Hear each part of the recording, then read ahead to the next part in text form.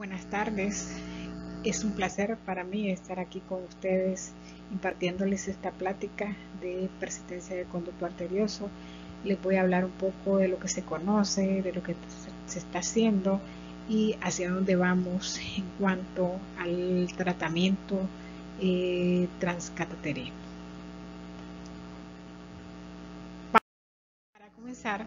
pues el conducto arterioso persistente es una cardiopatía acianógena de flujo pulmonar aumentado. El conducto arterioso eh, se desarrolla en vida fetal a partir del septo arco aórtico. El septo arco aórtico tiene una porción proximal que da origen a la arteria pulmonar derecha y la porción izquierda da origen al conducto arterioso. El conducto arterioso puede cerrar espontáneamente. ¿Cómo? Pues como resultado de dos procesos. Un proceso de constricción que ocurre las primeras 48 horas de nacido, que ocurre secundario a un evento hipóxico isquémico de la media muscular, con apoptosis celular secundario a una inhibición de la síntesis local de prostaglandina y de óxido nítrico. Días después ocurre un remodelado anatómico que se da por proliferación arterial, por reacción inflamatoria, que da origen a un engrosamiento de la íntima y pérdida de la muscular, que da origen al ligamento arterioso. En este esquema que tienen en pantalla observamos en etapa prenatal y en etapa postnatal el, el conducto arterioso. Esto corresponde a la vasovasorum del conducto arterioso y observamos cómo tiene bastante el del niño, del niño de término. En cambio, el del niño prematuro carece o está escasa la vasovasorum. Y cómo en el niño de término, cómo va involucionando hasta dar origen a lo que es al ligamento arterioso. El conducto arterioso es una comunicación entre la aorta descendente y la arteria pulmonar, justamente distal a lo que es la emergencia de la arteria subclave izquierda. Para decir que es conducto persistente, hablamos de conducto persistente después de la sexta semana de vida extrauterina. Sin embargo, hay un 10% de los neonatos que no cierran, principalmente aquellos neonatos prematuros, en el cual puede ocurrir una persistencia en hasta un 40% de los casos. En un 90% de los casos de los neonatos ocurre el cierre espontáneo. El conducto arterioso tiene varias clasificaciones. Esta es una clasificación meramente eh, angiográfica que va a depender de la forma del tamaño del conducto arterioso. Y en esta clasificación observamos como el tipo A es un conducto cónico donde su boca pulmonar va a ser más estrecha en relación a la boca aórtica. El tipo B es un conducto tipo ventana, el tipo C es un conducto tubular, el tipo D es un conducto complejo que tiene múltiples constricciones y el tipo D es un conducto elongado. El conducto arterioso tiene una incidencia de 1 en 2000 recién nacidos vivos. Sin embargo, si a esto le sumamos aquellos conductos silentes, porque la incidencia va a aumentar y va a ser mayor la incidencia en neonatos menores de un kilo, con una relación niña-niño 2 a 1 a favor de la niña. ¿Qué factores de riesgo encontramos? Aquellos neonatos que nacen en países o en ciudades con mayor altitud tienen mayor riesgo de tener persistencia. Aquellos hijos de consanguinidad entre padres, aquellos niños que la madre tuvo infecciones maternas, que nacieron bajo peso, prematuros, en aquellos que se utilizó en la madre anticonvulsivante, que es antagonistas, esteroides, tal como la talidomida, el litio, aquellas madres eh, con alguna toxicomanía, ya sea que use marihuana, cocaína, o aquel niño que traiga algún síndrome, por ejemplo, una trisomía 13, una 18 o una trisomía 21. En relación al cuadro clínico, pues va a depender de varios factores. del tamaño del conducto, de la edad del paciente, de los defectos asociados y las enfermedades concomitantes. Entonces, a mayor tamaño del conducto, mayor sintomatología. igual a menor edad, mayor sintomatología. Si tiene defectos asociados, igual. Y va a variar desde un precordio hiperdinámico con un soplo continuo en el segundo espacio intercostal izquierdo, un retumbo diastólico apical, los pulsos van a ser saltones con aumento de la presión del pulso y vamos a encontrar en este paciente presiones arteriales amplias. Estos pacientes tienen infecciones respiratorias a repetición, cansancio e insuficiencia cardíaca. Cuando enviamos una radiografía, pues la radiografía puede tener desde una radiografía normal hasta una radiografía con cardiomegalia importante, que va a depender del grado de cortocircuito que este conducto le esté dando. Entonces, ¿por qué se produce el cortocircuito? Recordemos que, el, la aorta tiene la circulación sistémica y la presión una presión sistémica y la presión de la arteria pulmonar es más baja. Entonces se va a dar el cortocircuito de izquierda a derecha, hacia a favor del pulmón. En la radiografía vamos a encontrar cardiomegalia con datos de edema pulmonar. Al realizar el ecocardiograma, pues, corroboramos el diagnóstico y vamos a observar el flujo hacia la arteria pulmonar encontramos una clasificación clínica y ecocardiográfica. Si es un paciente que no tiene soplo, no tiene repercusión hemodinámica y solo fue un hallazgo incidental en el ecocardiograma, pues ese es un conducto silente que no requiere tratamiento. Sin embargo, pues hay unas corrientes que defienden su cierre, otras que no, como la Sociedad Europea que no lo recomienda.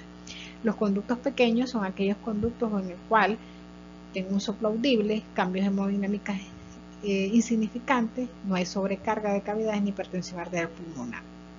Tenemos conductos moderados y grandes en el cual hay el soplo continuo de máquina de vapor, los pulsos son amplios, la sobrecarga de cavidades izquierdas de diferentes grados y puede haber o no hipertensión arterial pulmonar, independencia del, del cortocircuito.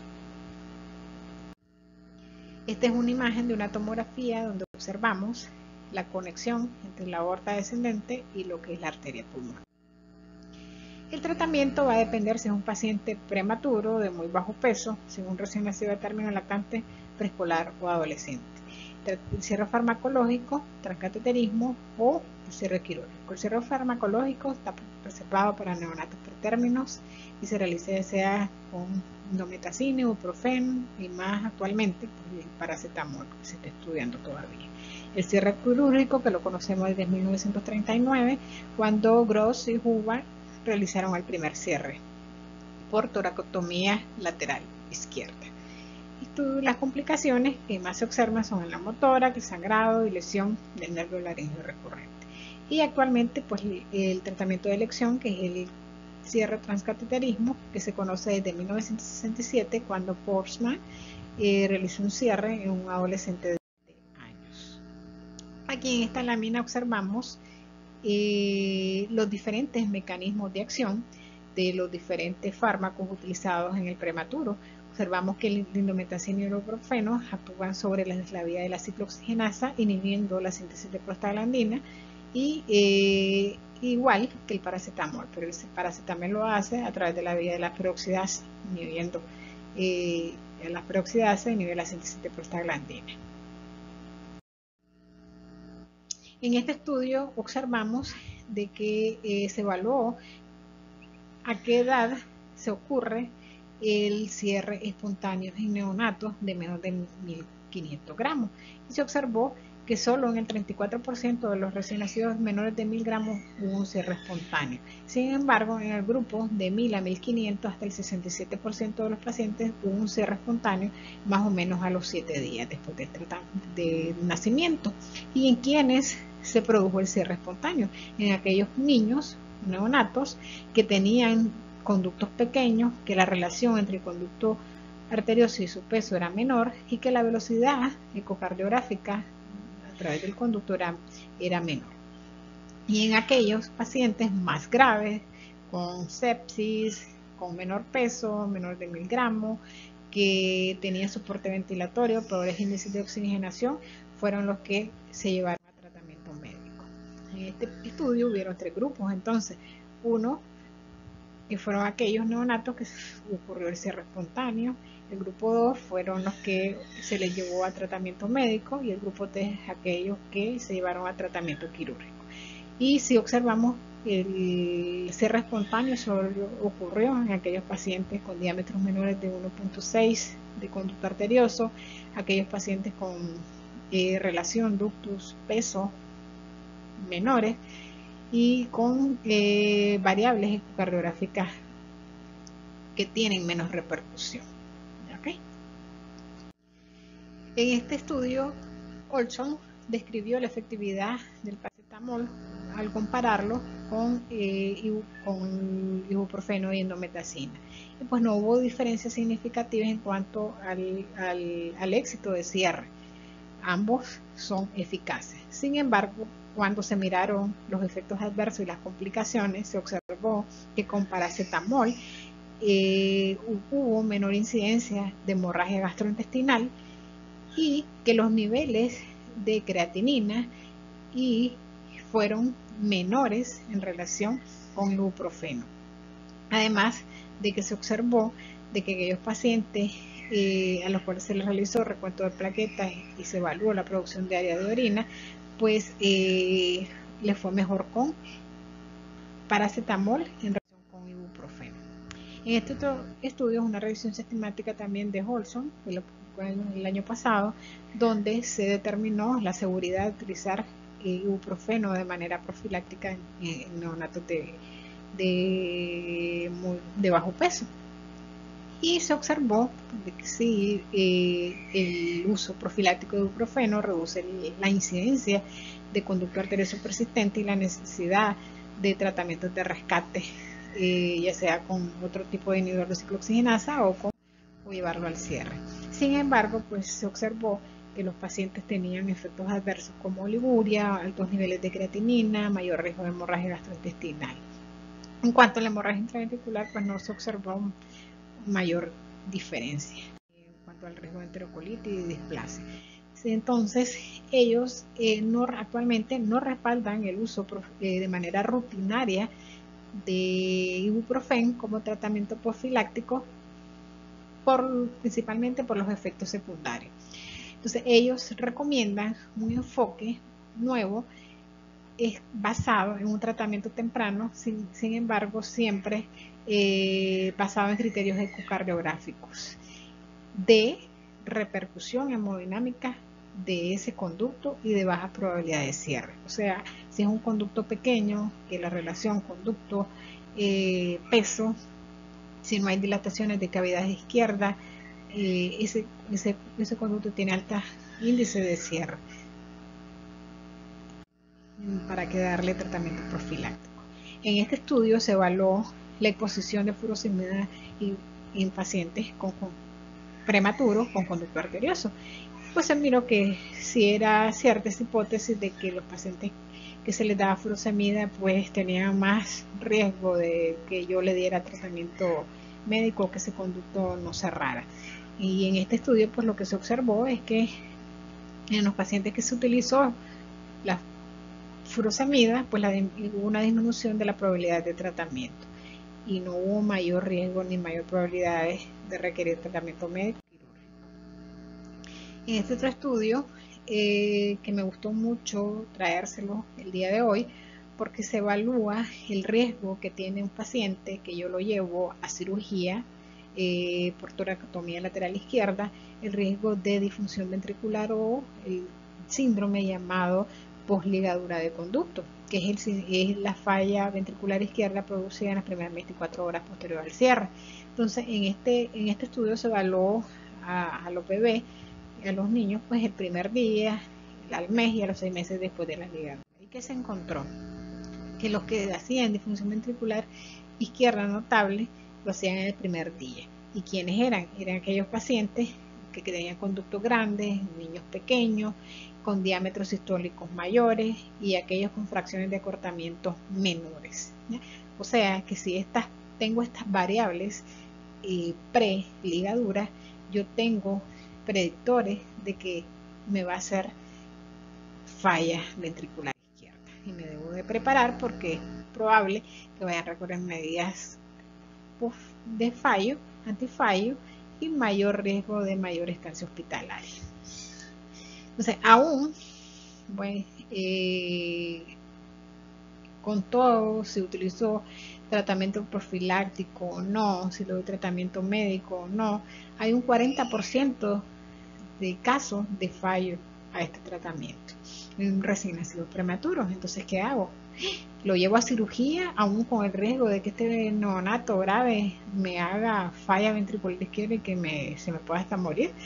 Entonces, eh, últimamente se está hablando como una alternativa el cierre de conductos arteriosos a través de catetería, inclusive en neonatos de muy, muy bajo peso, por todos los riesgos ya comentados de complicaciones tras la cirugía. Entonces, este procedimiento se ha descrito e inclusive ya se han diseñado dispositivos eh, para cierre transcateterismo de estos pacientes. ¿Y en quiénes está indicado? En aquellos pacientes que hay fallo de la terapia médica, aquellos pacientes neonatos que está contraindicada la terapia médica o aquellos pacientes que no nos puedo destetar del ventilador. Eh, los dispositivos utilizados en estos pacientes está el, el A2, el Ductal Occluder Additional Size, el Vascular Plug y eh, también los COIL. Se utilizan dispositivos de 2 de 2 hasta 4 milímetros, son los más utilizados. ¿Y eh, qué complicaciones puedo tener? Pues se han reportado desde eh, obstrucciones de las arterias pulmonares, aceleraciones a nivel de la aorta descendente y insuficiencia tricuspide. Por ejemplo, este que miramos en pantalla es un pacientito que se le realizó el cierre y quedó con una estenosis en arteria pulmonar izquierda. Sin embargo, eh, se observó que esta a los cinco meses ya había resuelto. Y este otro paciente que tenía aceleración a nivel de la aorta descendente también a los 11 meses ya estaba resuelta. En esta insuficiencia tricuspidia y al año también. Entonces, eh, se recomienda el cierre como una alternativa técnicamente factible con altas tasas de éxito de oclusión y las tasas de complicaciones pues son aceptables. Aunque eh, se deben de realizar más ensayos controlados que evalúen bien el seguimiento a largo plazo de estos pacientes. Y el cierre de, en niños eh, más grandecitos, preescolares, escolares, adolescentes y adultos, pues el tratamiento de elección es el cierre transcateterismo. Dependiendo del tamaño, así va a ser el dispositivo que voy a utilizar y voy a elegir. En conductos pequeños de menos de 3 milímetros o menos de 2 milímetros, prefieren los coins, pero también se puede una alternativa son los PLOC. En niños mayores de 6 meses, eh, mayores de 6 kilos, el ductal occluder y eh, conductos tubulares hasta eh, dispositivos de cierre de CIB. Y en respecto al cierre de conducto silente, pues la Sociedad Europea no lo recomienda el cierre, dado que el riesgo de endarteritis es muy bajo, inclusive la Sociedad Europea no recomienda la profilaxis, sin embargo algunas corrientes eh, sí recomiendan el cierre. Sin embargo, pues la Sociedad Europea se apoya en que cuando yo voy a meter a un paciente un conducto todavía se habla de, la sensibilidad al oxígeno de, este conducto y se ha visto espasmos durante la inducción anestésica y sobre la exposición al oxígeno y por, pues, solo con la exposición se y ya no hay ningún cortocircuito ¿por qué lo voy a cerrar? Entonces, y respecto a lo que es el cierre a largo plazo pues no está recomendado, se recomienda que si no tengo eh, cortos, independientemente del dispositivo utilizado, si no tengo flujo residual significativo ni tengo hemólisis descrita, no se recomienda hacer más allá de los tres meses. Inclusive si todo salió bien, le puedo dar de alta el mismo día. Muchas gracias.